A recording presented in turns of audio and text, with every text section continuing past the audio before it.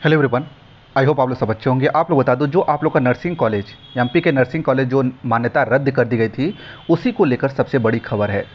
आप लोग बता दो, मध्य प्रदेश दो सौ इकतालीस नर्सिंग कॉलेजों की मान्यता इंडियन नर्सिंग काउंसिल ने खत्म कर दी थी, उसी को लेकर न्यूज़ है। आप लोग बता नर्सिंग कॉलेज के लौटाने होंगे छात्रों के दस्तावेज़।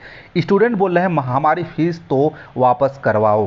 यानी इंडियन काउंसिल से अपील की जा रही है कि हमारी दो डॉक्यूमेंट जमा हुए हैं वेरिफिकेशन के लिए या जो हमारे फ़ीस जमा हो गई पैसे जमा हुए हैं, उनको कब तक वापस करवाया जाएगा? सबसे बड़ी खबर निकल के आ रही है।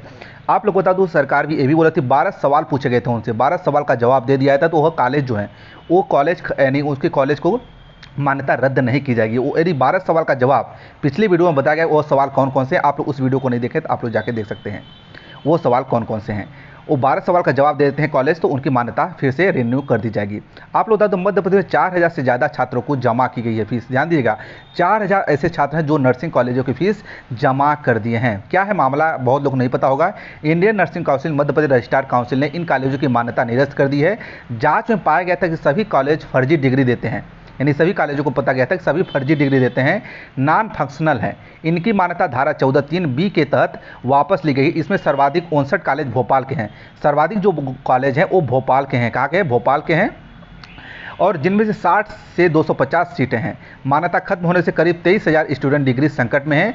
अब तक इनको लेकर स्पष्ट नहीं हुआ कि भविष्य में क्या होगा। यानी अभी तक तेईस हज़ार स्टूडेंट ऐसे हैं जिनका जो भविष्य को लेकर, डिग्री को लेकर सस्पेंस बना हुआ, क्योंकि जो एडमिशन लिए हैं, जो बीस सेमेस्टर में फंसे हुए हैं, उनका क्या होगा, जिनकी कॉलेज मान्यता रद्द की है। फर्जी डिग्री दे हैं, क्या मान्यता उसको कहीं पे अप्लाई करते हैं, फॉर्म भरते हैं तो उसकी मान्यता रहेगी कि नहीं रहेगी, उस कॉलेज भी डिपेंड करता है, इसलिए मान्यता रद्द की है।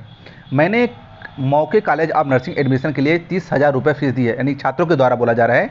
मैंने मैको कॉलेज को, कौन से? माइको कॉलेज को आप नर्सिंग के लिए एडमिशन के लिए तीस हज़ार रुपये दिए हैं। फ़ीस दी गई थी। बाद में कैंसिल करवा लिया गया। दस्तावेज़ तो मिल गए हैं, लेकिन फ़ीस वापस नहीं हुई। यानी उनके डॉक्यूमेंट जो है, मिल गए हैं, लेकिन क्या है, वापस नहीं हुई दुर्गा चौहान स्टूडेंट उनके द्वारा बोला जा रहा है। मैंने राजदीप कॉलेज ऑफ़ नर्सिंग में एडमिशन के लिए उधार के लेकर दस हज़ार रुपये जमा किए थे। बाद में पता चला कि मान्यता नहीं है। पैसे वापस मांगे तो पाँच हज़ार रुपये लौटा दिया लेकिन पाँच हज़ार अभी बाकी है। ये मानसी स्टूडेंट है, उनके द्वारा बोला जा रहा है। दस्तावेज़ लौटाने के लिए आदेश क्या। स्टूडेंट कोई भी दस्तावेज़ रखने का आधार अधिकार कॉलेज वाले को नहीं है, लेकिन फ़ीस को मामले में हमें हमें देखना होगा कि इसका अधिकार है या नहीं। हम एक दो दिनों इस मामले को निर्णय लेंगे। डॉक्टर योगेश शर्मा, प्रशासन मध्य प्रदेश जो है, नर्सिंग रजिस्ट्रेशन काउंसिल के अध्यक्ष हैं। उनके द्वारा यह बोला जा रहा है कि हम इसके बारे में जल्दी देखेंगे, पैसा रिटर्न हुआ कि नहीं होगा। ठीक है, जो भी और अपडेट होगा आप लोग को बता दिया जाएगा। ठीक है, जो भी सवाल हो आप लोग कमेंट कीजिए, या इंस्टाग्राम पर आके पूछ सकते हैं। ठीक है, आप लोग रिप्लाई ज़रूर किया जाएगा।